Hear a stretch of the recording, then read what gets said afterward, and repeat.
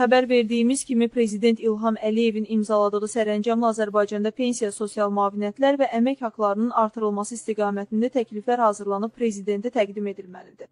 Əmək və Əhalinin Sosial Müdafiəsi Nazirinin müavini Anar Kərimovun açıqlamasına görə pensiyalarda olan artım məbləği 20-40% aralığında olacaq.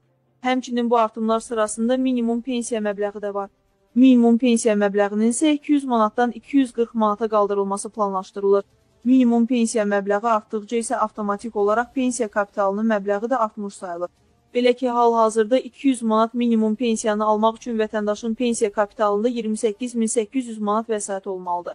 28800 manat bölünsün 144 bərabərdir 200 manat.